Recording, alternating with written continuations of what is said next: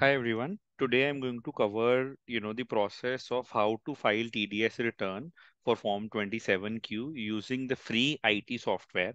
So I purchased a property myself and I had to go through a lot of hassles finding a lot of information on how to fill this form and how to fill this return. So I thought I'll make a video which will help everybody. You know, I purchased a property from NRI and we will be talking in detail about step by step how to file, you know, uh, your return using Form 27Q um, you know i'll share my personal experiences. I'll try to cover each and every field. And you know i'll also cover how do you download the free rpu and fvu files and uh, uh, so th- that is all required to file this return. And um, so let, let's start. I, i'll try to cover as much as i can. That helps you. So uh, the first thing is if the seller or deductee you know uh, is a non resident, right? That is, you are a buyer, you've purchased it from a non-resident Indian, then you are required as a buyer to deduct TDS as per the provisions of Section 195 of Income Tax Act. And I'll share this link, you know, that talks about this in detail. Then further, you know, um, you are required to furnish all the forms uh, all the information related to deducting this TDS on property, you know, in Form 27Q. So one is you have paid TDS. So I'll cover, I, I'll prepare a separate video on how to deduct the TDS.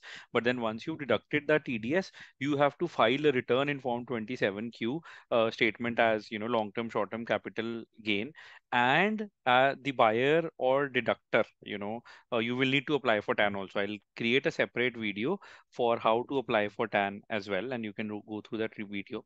So after you've deposited the TDS, after you filed your return, as a buyer of the property from NRI, you are required to issue Form 16A to the seller in respect of the TDS that you have deducted and that you've deposited in the central government bank's account. So if you're a salaried employee, you usually get a Form 16, right? Because of because your employer is deducting your salary. Similar to that, here you are the deductor and you have to issue Form 16A. That is the difference between 16 and 16A. And if you want any more information on this, you know, you can go through this link. This also I'll provide in the descriptions. Uh, but what this link is, this is, uh, you know, this is a document prepared and shared by the income tax department. This is a four page document. This covers all the information with respect to who is a non-resident and, you know, what is the rate of deduction, how to deduct the tax, you know, what should you do as a buyer, what should you do as a seller, what are the last dates. So I'm not going through any of this. This link I'll paste, you can go through this. But in this video, what I am going to cover is specifically 27Q. So before I start going into the system, so 27Q form is a quarterly statement of deduction, you know, under section 200, where you've made payments other than salary to non-resident. So in case you've bought a property from non-resident, so you are making a payment to the non-resident other than salary, and that is why you are to deduct the tax, right, and submit that return to the government.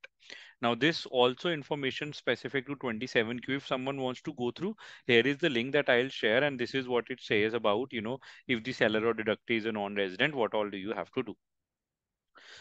Now, moving on to how do you actually go ahead and uh, file this form and how you do use this form. So first of all, what you have to do is you have to go to the income tax government uh, website.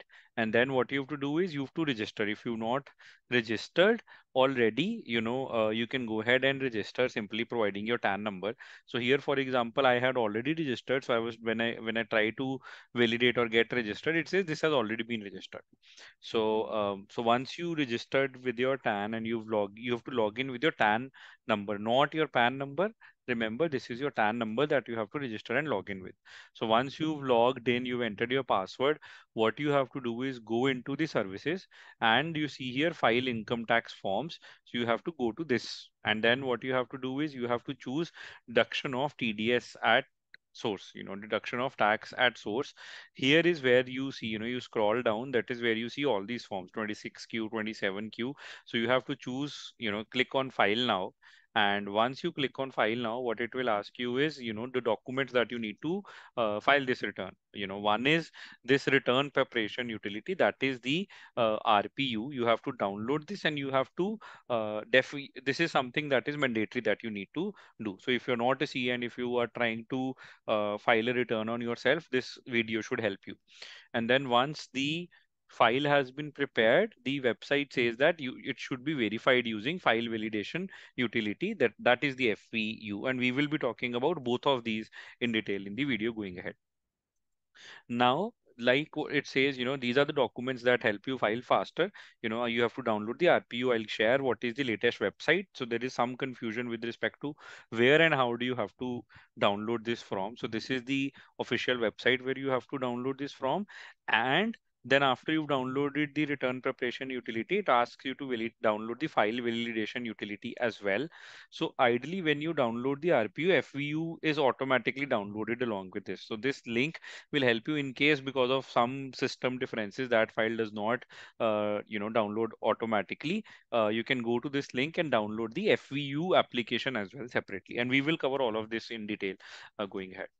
So let's get started. So this is the link that I was talking about. You know, you have to go to the Protean Tin Pan website, and then what you have to go is, you know, uh, you have to scroll down and you will see RPU for quarterly. Uh, you know, under the download section, you have to you you will see the uh, RPU for quarterly returns. So this download RPU version, latest whatever is available on this website, you have to click on this, and this is the uh, tutorial that guides you with respect to, you know, how do you file your return uh, uh, there's a complete document that I'll show you.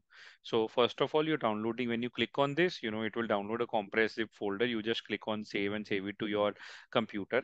And then what you can do is, like I said, you can also download FVU to be on the safer side. So from the same website, if you scroll down further from the same section, you can download the latest FVU as well you should have admin rights in your machine because these are e.exe files that will be executed and the software will be installed on your system. So this is the link that I was talking about from NSDL. This is a, step-by-step tutorial. This is a little old, outdated. They do not update it much. So you might find it a little confusing at times, but there is a lot of useful, meaningful information also that you will find if you want to go through this. I'll provide that link in the description for your reference. But if you're watching this video, that should hopefully clear all your doubts and you should not need to uh, go through this. So then once you've downloaded the RPU, what you have to do is you have to open the RPU. It just gives you a message that, you know, these are some prerequisites. This is the system and you need Java and all. If that is not there, you'll probably have to download that. But usually these days, Java and all of these requirements are met. If not, just go through these requirements and, you know, make sure your system is updated with the latest versions of Java or the operating systems. So click on OK and then what happens is this screen opens and then uh, the first thing that you have to do is choose your form. So in our case we are choosing 27q if you are filling any other form you may look at this video and find this useful or relevance as well uh, because the same details would be similar. But what i am covering in this video is 27q and then what you have to do is you have to file a regular return as of now. You are not filing a correction which is if you filed a regular return and then you found out some you know issues. That is when you file a correction. Once you have done this, click on continue, or you can also open a save reg saved regular file. So in case you get disconnected or get away, so what you can do is you can click on this link and open. You don't have to restart. You you know just save that file. It will ask you to a prompt to save it on your computer, and you can open it and resume from wherever you've left. So right now we've clicked on continue. And then uh, what you have to do is you have to give your TAN number and you have to choose the financial year for which you are filing this return. This is very simple, right? So once you've chosen that, you will get this message that you have to choose the quarter for which you are uh, filing your return. So the quarter is where you've deducted that tax. That is the quarter that you have to choose. Now, what you have to choose is whether you are a company or an individual. In my case, I am an individual. Then what you have to do is fill all of these details. But what you should pay attention to is even though branch is not mandatory, you can mention this as none because when you try to validate it later using the FU, it will throw you an error. So it is indirectly a mandatory field and that is the issue that I was facing. So I thought it is best for you to know. Uh, similarly, what you have to do is you have to fill all of this information, your address and your PIN code. Um, and then what you have to do is once you filled your address and other information that is mandatory here, you can click on same as above if these details are same. Otherwise, you can uncheck this and fill all of these details again. In my case, they are the same. So I click these, some of these fields will come populated from here and some you will have to uh, fill in yourself. So here, for example, designation you can put as self. I don't know if you can put housewife or salaried or anything. I think any of those fields would work, but here I have put designation as self. So, uh, and then again, all of these address fields, they get copied there from directly. Now, what it asks you is, has your address changed since you filed the last return? Now, what is confusing is you are filing the return, let's say for the first time. So what then you can choose is no, because this is the first time that you're filing the returns. Your address is not changed. And then this again asks you whether a regular statement 27Q has been filed for earlier period. If you are filing it again, then your answer can depend on yes or no. But if you're filing it for the first time, then what you should do is you should you can fill this as no. And what you have to do here is you have to also fill your email and uh, mobile number. These are though not mandated but you know it is one it is good to enter this information and sometimes you might still get an error if you have not filled this information so once you've uh, selected this whether you filed a regular statement or no it says that kindly confirm that there is no other statement that you filed for uh, previous quarter so which is okay because this is the first time that you are filing this return so you can click ok and proceed from there now what you have to do is you've till now filled on form section. Now you have to fill the challan details, right? Right now you fill the form. And now what you have to do is once you go to challan, you have to click on add rows. And then how many rows do you want to add? If you just have one single row, then you can add one. If you have multiple rows, you can add two. And kindly note, if you are two buyers and there's one NRI seller, you have to do this process two times separately. You're not doing this, you know, together uh, for two buyers. You have to do it for each buyer two times. So let's say you've clicked on number of rows as one, you click on OK. And then what you have to do is start filling these details. Now, what you have to do is you have to open your challan, that is where you made your TDS payment, and you have to fill all these details. What was the TDS or charge, education cess, interest, fees, penalty, if there is any that you paid, and then you know the BSR code is also mentioned on your challan number. Once you filled all this information, you know the receipt number uh, of you know uh, the from the challan, what you have to do is you have to uh, uh, you know fill the date on which you deposited the amount through the uh, to, to, to of the transfer right? So that is the date for example that i'm showing that you have to fill here. Then once you've done that you have to choose you know the main minor and minor head which is 200 in case you know tds payable by taxpayer. So uh, so 400 is for uh, regular assessment. That is once you filed your regular uh, return and then there is a query or you know intimation from the income tax department and you have to file it again that is when you can choose 400 but for now you have to choose 200 now what you have to do here is you challan details you filled, right? That is how much tax you paid through the challan, those details you filled. Now when you move to the annexure one, which is the deductee details, which is the seller details from whom you've bought the uh, you know uh, property or you are making any payment to the NRI. So what you have to do is again click on uh, insert a row, click number of rows that you want. In my case, it was one, so I've added one row and clicked on OK what happens is some of these fields they already come in from the challan tab. So you know the challan that you paid for for deducting the tax of uh, deductee these all details again you know the ones that you filled in challan tab they all come in here. Uh, so uh, then what you have to do is uh, you have to move further scroll to the right and you know section under which you've made the payment. So it is 195 for if you bought a property or choose your appropriate uh, section.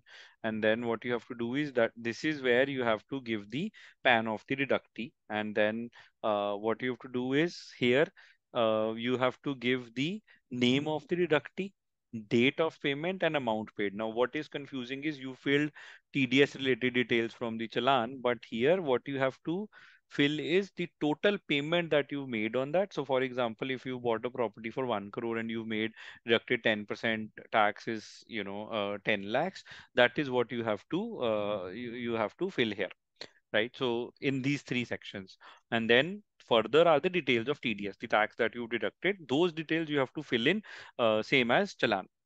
Now this is the date of deduction when you deducted the tax. That is what you have to mention. And you know uh, what is the reason for non-deduction? You know it will show you some options A, B, C, D. You know making payment to a non-resident for this, this, this. So that is where you have to choose. So um, for for my case where I bought a property, I had to choose A. Now, then you have to choose one or two, whether you are a company or other than company, you can choose two in case you are an individual or one if you are a company. And then the date at which you deducted the tax. You know, in my case, the uh, seller had applied for a lower tax uh, TDS. And, you know, even though it I was liable to deduct 20 or 22% tax. He had applied for a lower tax and the income tax department approved it. So I deducted 12% tax. Now what you have to do is you have to enter the certificate number that was issued, you know, for lower TDS in case the seller had applied for lower TDS. That is what I was talking about. You have to enter that certificate number. If you don't have that, you have to get it from the uh, seller. And uh, whether, you know, the TDS rate is Act A or double taxation avoidance. In in in my case, it was uh, you know A. So in your case, whatever it is, you can choose that. Now, what is important is nature of resident, uh, nature of remittance. What I chose is other income. If you choose any other field other than other income, which looked more appropriate to me, what will happen is it start asking for name, email, and address of the deductory and mandate as mandatory field, and it was not accepting and it was not letting me file my return. So I chose other income, and maybe it helps you that if you choose other income, it works for you. So uh, then what you have to do is you have to fill the country of resident, and if you see here address, contact number all of email ID of deductee. These are not mandatory here, but if I chose any other nature of remittance, they were becoming mandatory and system was not accepting those values also. So that became a big problem and I had to research and find this out. Uh, then all of these further fields beyond this are optional. You know if they're applicable to you if you have that information uh, you know you can mention that. For example if there is cash withdrawal in excess of 1 crore then you have to mention that. If not then uh, you know you can leave these as blank. These are not mandatory fields uh, so here, if you see grossing up indicator also is something, you know, that you can leave as blank. It is if you've grossed up or, you know, rounded off the figure, but, but it is not mandatory to fill. You can leave that blank if it is not applicable to you. Then once you've done all of this, what you have to do is click, click on create file when you click on create file, this pop-up will open. And what you have to do is you have to enter the challan input file name, which is the CIN with path. Now, how do you know what this file is? Now, what do you have to do? Now that is where you have to go to this website, TIN-NSDL, you know, Voltas website. And what you have to do is you have to download a file through which you paid the challan for TDS. And this is, I'm going to show you how you have to download that and upload it here. So you go to this website, I'll add it in the description. Then you click on TAN based view. You enter your TAN number and then, you know, enter the range when you deducted the tax, enter the CAPTCHA and then click on view challan details. What it will show is it will show you the challan details of when you deducted the tax. And then what you can do is you can click on confirm amount to make sure this is showing the correct challan and, you know, it will start showing your amount. Once you validated that this is correct, that is where you download the challan file. Once you download the challan file, if you see this is the CSI file that it was asking there. So you have to download this file, save it to your computer, and then you know come back to the software, RPU software, click on create file, click on browse. Now open the file that you just saved as CSI and give it here. Then what it says is if there are errors, where should it save those errors for you to view? So you can choose the path wherever you want to save the file in case there are errors you can view that and uh, you know just click on save. And uh, then uh, what you have to do is you don't need to fill the consolidated file name with path. What you can do is you can just click on validate and you know it says file successfully validated right? And uh, please submit this next uh, this form in the next step. So if you see here file is validated. In case there are errors where the file location that you have chosen you know uh, it will open a web link and you can view the errors that you are getting and then you have to fix those errors i got a lot of errors which i've already fixed and shown you. For example, the other income uh, nature of remittance and other errors that I was getting. After I fixed all of those errors one by one, I was able to successfully submit it. You click on OK, it gives you another message that after successfully filing, you can check the status of state, uh, you know, uh, your quarterly return under this website. You can again click on OK. Do you want to give your feedback? You can click on OK or cancel. I click cancel then what you have to do is this is the file that was downloaded form 27a for you know and uh, so this is the form that was generated. You can verify all the details that the details that are showing here the details that you filled are showing correct. Now after you've done that what you have to do is again register. If you're not yet registered or log in with your email id and password once you've done that again go to file file income tax forms go to you know uh, deduction of tax 27q click on file now click on let's get started and then you have to choose form 27q which is non-resident other than salary here then what you have to do is you have to select the financial year for which you are uh, deducting. You have to select the quarter, you whether you are doing a regular or a correction return. If you're doing it first time, then it's regular, and if it's uh, you know second time you are uh, rectifying that return, then it's a correction. Now this is where you have to attach the file that you created using the RPU software. You have to open the file here, and if you see this is the compressed file that you see here. You know it, it created a .fvu file. That is what i was saying. So if you try to open it it will show you that the file is validated and this is the compressed file that you have to open. So uh, when you open the compressed file click on open right? And then what you have to do is that you know uh, then you have to click on uh, proceed to verify. Once you click on proceed to verify it will just ask you for a confirmation are you sure you want to e-verify? And then it will show you these details and then I, it will ask you how do you want to e-verify? There are multiple options.